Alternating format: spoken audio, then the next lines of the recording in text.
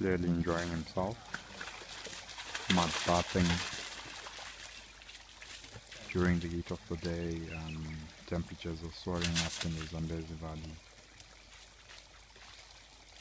And this is going to cool him up a bit.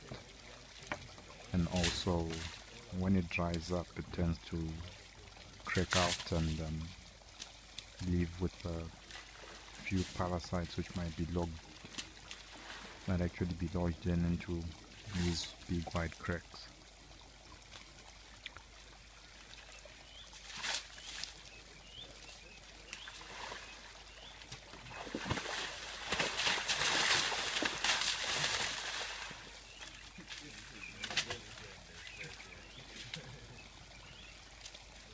Clearly enjoy.